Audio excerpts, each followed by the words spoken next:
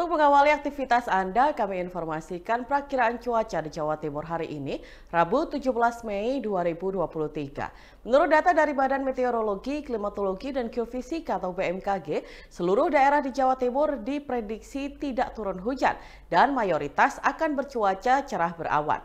Namun harap waspada untuk daerah Banyuwangi, Jember, Lumajang, Ngawi, Ponorogo, dan Trenggalek yang akan diselimuti awan tebal pada malam hari.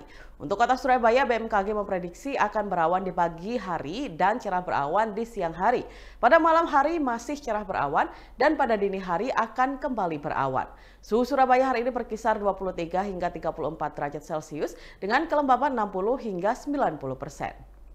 Sekian informasi perakiraan cuaca di Jawa Timur hari ini, Rabu 17 Mei 2023. Terima kasih dan selamat beraktivitas.